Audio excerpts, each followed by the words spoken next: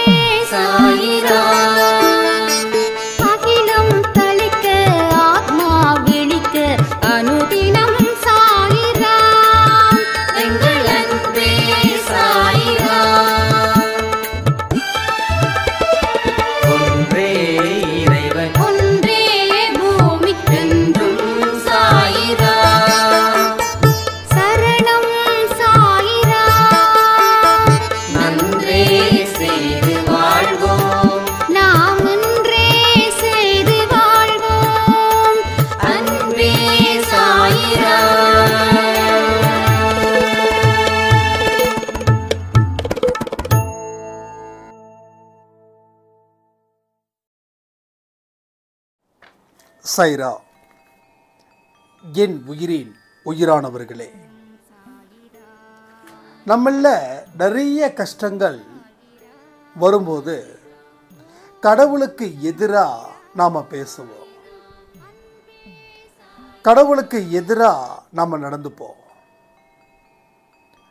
நேர்மையாக இருக்க வேண்டிய நாம் நேர்மை இல்லாத மனிதர்களாக கூட சில நேரத்தில் மாறுவோம்.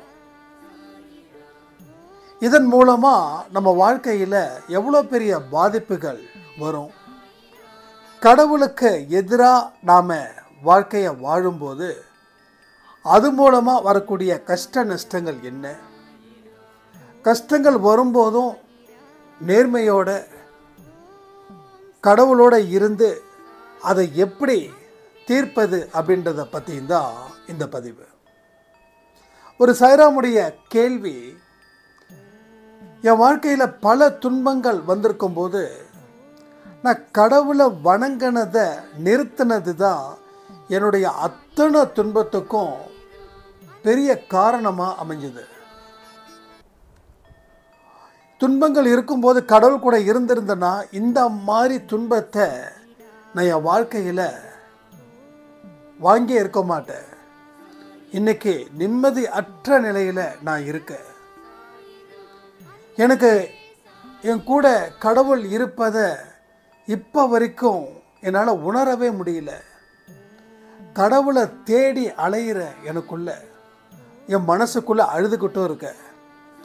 இதற்கு உரிய பதில்களை அன்பை சாயில இருந்து எதிர்பார்க்குற அப்படின்னு அந்த சாய்ராம் சொல்லியிருந்தாங்க. நம்ம இதெல்லாம் தான் செய்கிறோம் அந்த சாய்ராம் சொன்ன மாதிரி. எப்பெல்லாம் நமக்கு கஷ்டங்கள் வருதோ அப்பெல்லாம் நம்ம கடவுளுக்கு எதிராக செயல்படக்கூடிய மனநிலையில் நாம் இருக்கோம். இதனால் வாழ்க்கையில் நமக்கு மறுபடியும் துன்பங்கள் மட்டும்தான் இருக்குதுன்றத வாழ வாழ வாழ தான் புரியுது நமக்கு. இந்த துன்பங்கள் இருக்கும்போது கடவுளை நாம் இன்னும் இறுக்கமாக பிடிச்சிக்கணும். இப்போ ஒரு இடத்துல இருந்து கீழே விழுறீங்கன்னு வச்சுக்கோங்க. ஒரு உதாரணத்துக்கு. கீழே விடும்போது ஒரு grip இருக்குது. அந்த கிரிப்பை இறுக்கமாக பிடிப்பீங்களா? இல்லை ஃப்ரீயாக பிடிப்பீங்களா?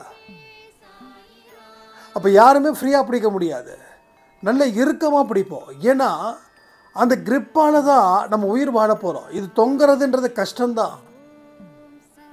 சரி தொங்குறது கஷ்டம்னு கையை விட முடியாது. ஏன்னா கையை விட்டுட்டோன்னா கீழே விழுந்துருவோம். உயிரே போயிடும். அப்போ தொங்கி தான் ஆகணும் கஷ்டப்பட்டு தான் ஆகணும். அதே நேரத்தில் இறுக்கமாக இருக்கணும். இறுக்கம் இறுக்கி பிடிச்சிருக்கணும். இறுக்கி பிடிச்சிருந்தா நம்மளுடைய அபாய குரல் கேட்டு ஏதோ ஒரு மனுஷன் வருவான். நம்மளை அவன் காப்பாற்றுவான் புரியுதா உங்களுக்கு?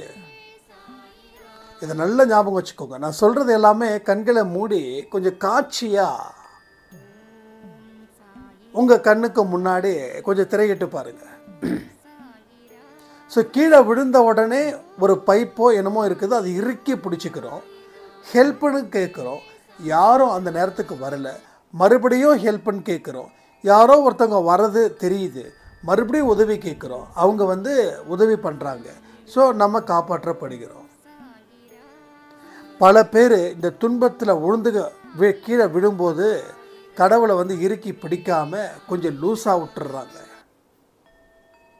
கீழே பொத்துன்னு விழும்போது தான் விழுந்த இடம் இவ்வளோ பெரிய ஒரு ஆபத்தை நமக்கு தேடி தந்திருக்குதுன்னு சொல்லி வருத்தமும் படுறாங்க. ஆனால் அதை இறுக்கி பிடிச்சி கடவுள் என்னை காப்பாற்றுவார் இப்பையும் நான் நேர்மை தவறாமல் இருப்பேன். இப்பையும் என் மனசில் கடவுள் தான் இருக்கார். எனக்கு துன்பங்கள் பெருசு தான் என் கண்ணீர் பெருசு தான் இதனால் பட்ட வலி எனக்கு அதிகம்தான். தாங்க முடியல தான் ஆனாலும் என்னோட கடவுளை நான் கடைசி வரைக்கும் இறுக்கி பிடிச்சிப்பேன். இந்த மன வைராக்கியம் உங்களுக்கு இருந்துடுச்சுன்னா நீங்கள் எளிதில் கர்மாவை தீர்த்து நல் வாழ்க்கையை நீங்கள் வாழ்வீர்கள். கர்மா சீக்கிரமாக தீர்ந்தே போயிடும். கர்மா சீக்கிரமாக அழிச்சிடுவார் சாயப்பா. அப்போ கர்மா அப்படின்றது உங்களுக்கு வந்து குறையுது. எப்போ? நீங்கள் எவ்வளோ கஷ்டப்பட்டுட்டாலும் அந்த இடத்துலையும் கடவுளை விட்டு கொடுக்காம இருக்கிறீங்க பாருங்கள் விட்டு கொடுக்காம இருக்கும்போது தான் உங்களுடைய கர்மாவை கடவுள் வந்து தீர்க்கிறாங்க. இதை நீங்கள் புரிஞ்சிக்க முயற்சி பண்ணீங்க அப்படின்னா உங்கள் வாழ்க்கையில் துன்பத்தை நீங்கள் கடவுள் துணையோட அதை கடக்கலாம். மிகப்பெரிய சந்தோஷத்தை நீங்கள் பெறலாம். இது நிச்சயமாக உங்கள் வாழ்க்கையில் பலவிதமான மாற்றங்களையும் ஏற்படுத்த போகுதுன்னு நீங்கள் தெளிவாக ஆழமாக புரிஞ்சுக்கோங்க. ஸோ ஒரு ஒரு துன்பத்தை கடக்கும் போதும் கடவுளை இறுக்கி பிடிச்சிக்கணும். இது ரொம்ப இம்பார்ட்டன்ட் ரெண்டாவது நேர்மையான வழியில் நம்ம கவனத்தை வைக்கணும்.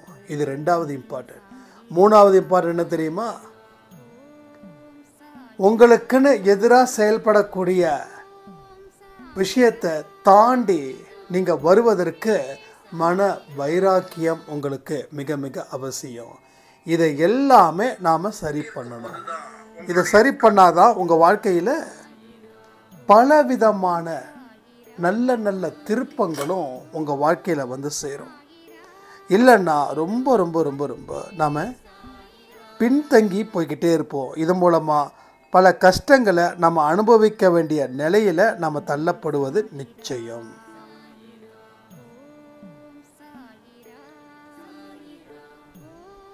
அப்போ என்ன கஷ்டம்?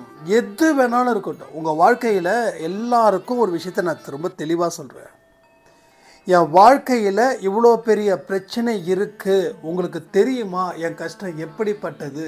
அப்படின்னு சொல்லி எப்பயுமே தயவு செய்து கேட்காதீங்க. தயவு செய்து சொல்லாதீங்க. ஏன்னா ஒரு ஒரு மனுஷனுக்கும் தீர்க்க முடியாத கஷ்டங்கள் அப்படின்றது ஒன்று இருக்குது என்ன கேட்டிங்கன்னா நானும் சொல்லுவேன். உங்களை கேட்டால் நீங்களும் சொல்லுவீங்க. தோ இன்னும் பக்கத்தில் இருக்காங்க பாருங்கள் அவங்க கேட்டாலும் அவங்களும் சொல்லுவாங்க. ஒன்றும் இல்லை. இப்போ நம்ம குடும்பத்தில் நீங்கள் இருக்கீங்க. உங்களோட சொந்தம் ஒன்று ரெண்டு பேர்கிட்ட கேளுங்க. உனக்கு கஷ்டமே இல்லையா அவன் வாழ்க்கையில்? அப்படின்னு கேளுங்க. என்ன ஆன்சர் பண்ணுறாங்க அப்படின்றத மட்டும் கொஞ்சம் கவனிங்க. அப்போ சொல்லுவாங்க எனக்கு கஷ்டம் இல்லையான்னு கேட்குற உங்களை நம்மளை அடிப்பாங்க.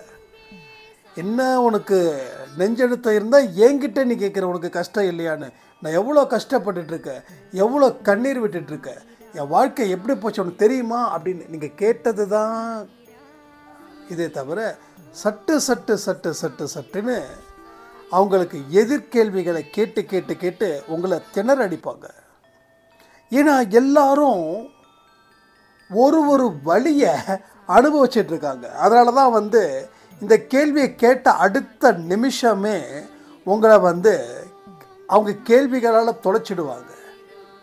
அப்போ எல்லா மனுஷனுக்கும் அந்த கஷ்டம் இருக்குது ஒரு ஒரு மனுஷனுக்கும் கஷ்டம் இருக்குது தீர்க்க முடியாத கஷ்டம்னு ஒரு ஒரு மனுஷனும் வச்சுருக்கான்.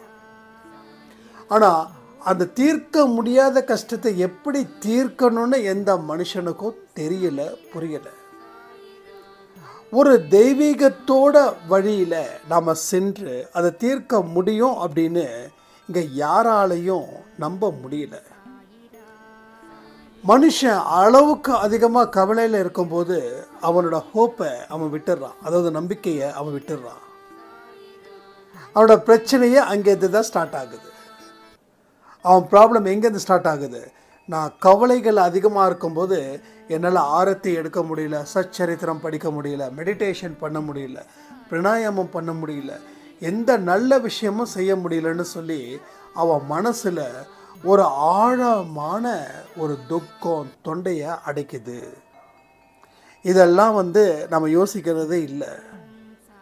இந்த இடத்துல நாம் ரொம்ப தெளிவாக கவனமாக இருக்கணும். எல்லா மனுஷங்களும் எங்கே நம்பிக்கையை இழக்கிறாங்க எங்கே நேர்மையை தொலைக்கிறாங்க? எங்கே ஆபத்தில் மேலும் மேலும் சிக்கிறாங்க? இது ரொம்ப இம்பார்ட்டண்டான விஷயம். உங்களுக்கு எப்போ கவலைகள் அதிகரிக்குதோ அப்போ நீங்கள் இருக்க வேண்டிய இடம் இன்னமும் சாயப்பாவுடைய பாதம். கேள்வி கேட்குற ஆன்சர் பண்ணுறீங்களா கவலைகள் அதிகரிக்கும் போது உங்களால் ஆரத்தி முழு மனதோட எடுக்க முடியுதா? இதுக்கு பதில் சொல்லுங்க. கவலைகள் இருக்கும்போது சாயப்பா கிட்ட நம்பிக்கையோட உங்களுக்கு வணங்க முடியுதா? இதற்கு பதில் சொல்லுங்க. இந்த கேள்விக்கு பதில உண்மையா சொன்னீங்கன்னா நேர்மையா சொன்னீங்கன்னா இதில் இருந்து நம்ம வாழ்க்கையை மாற்றி அமைக்கிறதுக்கு உண்டான முயற்சிகளை இப்போ நம்ம செய்யலாம். ஸோ எல்லாருக்குமே பொதுவாக சொல்கிறேன் ஒரு ஒரு மெஜாரிட்டி பீப்புள்ஸ்க்கு இந்த மாதிரி கவலைகள் வந்தாவே மனசு உடஞ்சி போயிடுறாங்க. சாமி ரூம் எந்த பக்கம் இருக்குதுன்றதை கூட மறக்கிறாங்க. சாயப்பா ஒருத்தர் இருக்கிறாருன்றதை கூட தெரிவிக்க முடியாத அளவுக்கு அவங்க தெரிஞ்சுக்க முடியாத அளவுக்கு ஒரு மோசமான சூழ்நிலையில் அவங்க மாட்டிக்கிறாங்க.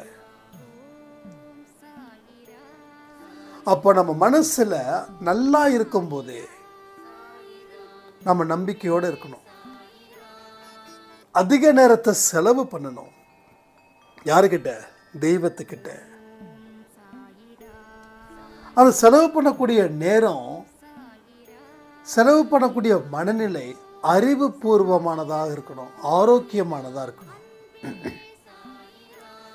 ஒரு ஒரு விஷயத்தை செயல்படும் போது கடவுளுடைய ஆசீர்வாதத்துக்காக நாம் ப்ரே பண்ணணும். அந்த விஷயம் முடிஞ்சதுக்கப்புறம் அவர்கிட்ட நன்றி சொல்லணும். ஈவன் அந்த விஷயத்தில் நீங்கள் ஃபெயில் ஆனால் கூட சக்ஸஸ் ஆனால் நன்றி செலுத்துவோம். ஆனால் தோல்வி அடைஞ்சால் நன்றி செலுத்த மாட்டோம். ஏன்னா தோல்வி தோல்வி அடைஞ்சிட்டோம் அப்படின்னா நம்முடைய எதிர்பார்ப்பு வந்து வேறு லெவலில் இருக்கும். அப்போ அந்த இடத்துல நம்ம தோல்வி அடைஞ்சிட்டோம் அப்படின்னா டெஃபினட்டாக நம்மால் அதை அக்செப்ட் பண்ண முடியாத அளவுக்கு ரொம்ப மோசமாக இருக்கும்.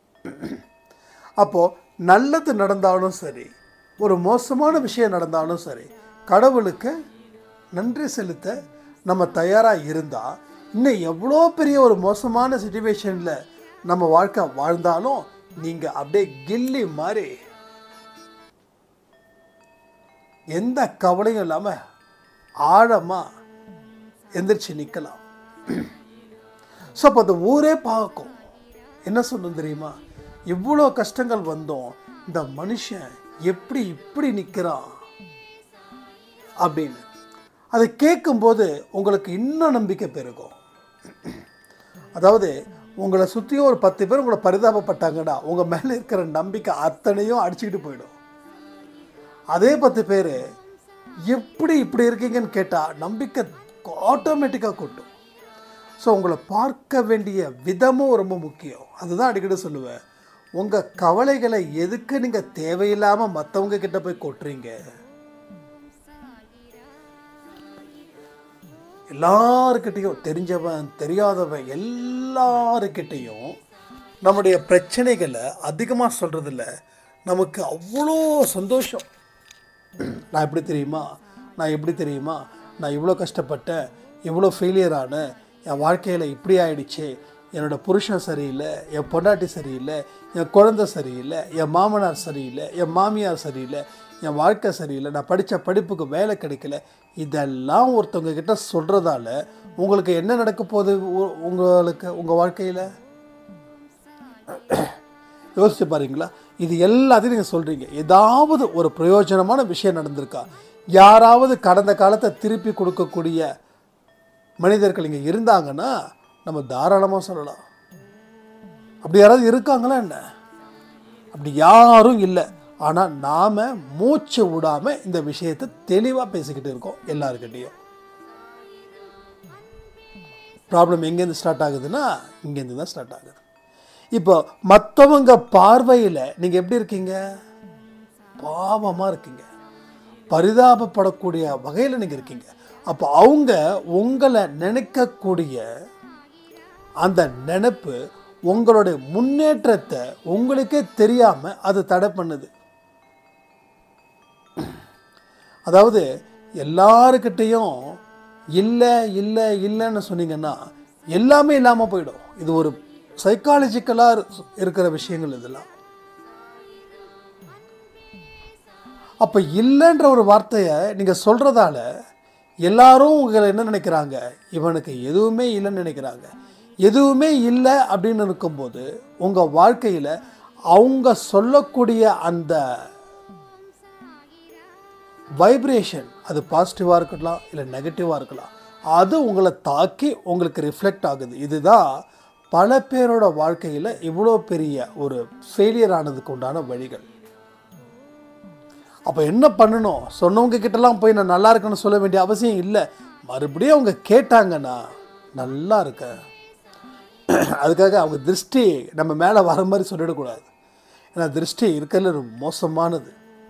ஆனால் அதையும் நம்ம சாய்ப்பா தான் நம்ம சொல்லி கொடுத்துருக்காரு. அப்போது நல்லா இருக்க. இப்போ பரவாயில்ல. எவ்வளோ பரவாயில்ல. அப்படின்ற மாதிரி சொல்லணும். நான் ஓஹோன்னு இருக்கேன் ஆஹான்னு இருக்கேன். பாருங்க இப்போல்லாம் பயங்கரமாக நான் ஹாப்பியாக இருக்கிறேன். எந்த ஒரு மனுஷனை நம்ம குறை சொன்னோமோ அவங்கள வந்து ஒன்றுக்கு பத்தா புகழ்ந்து சொல்கிறது இது எதுவுமே வேண்டாம். எதுவுமே வேண்டாம். நல்லா இருக்க அவ்வளோதான் அதுக்கு தாண்டி வர எதுவுமே நம்ம பேசக்கூடாது. அங்கே பேசுகிறதால நமக்கு ஒரு மிகப்பெரிய ஒரு ஆபத்து காத்துட்ருக்குதுன்னு நினச்சிக்கோங்க. அதிகமாக பேசுனாவே ஆபத்து தானே அதிகமாக பேசுனா மிகப்பெரிய ஆபத்தில் நம்ம சிக்குவோன்னு உங்களுக்கு தெரியாதா என்ன?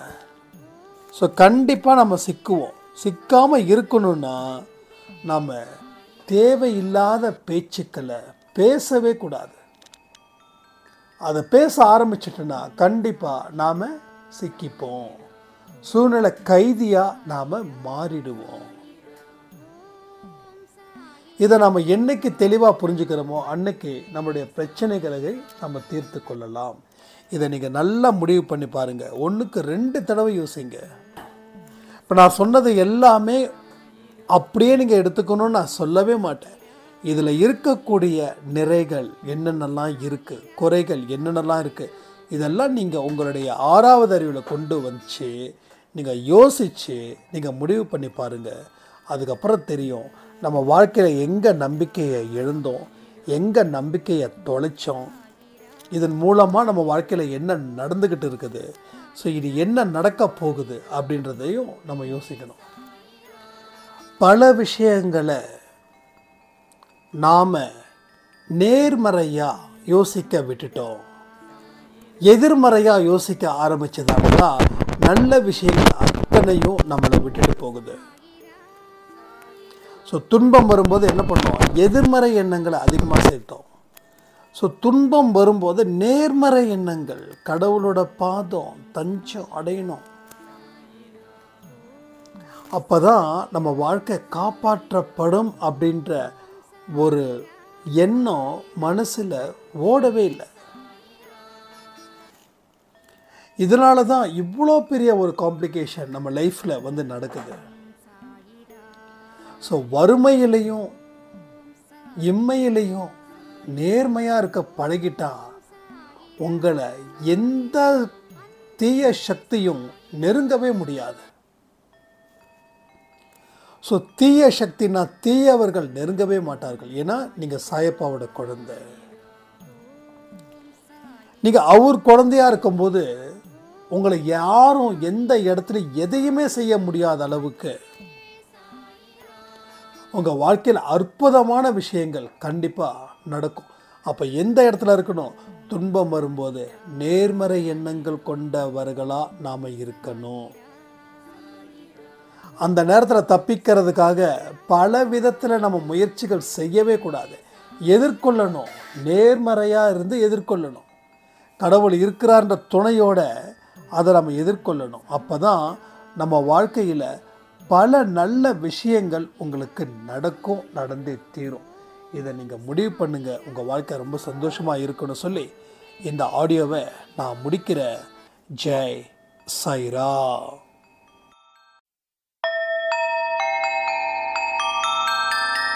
ஓம் சாயிரா. சாயிரா. ஓம் சாயிரா. சாயிரா.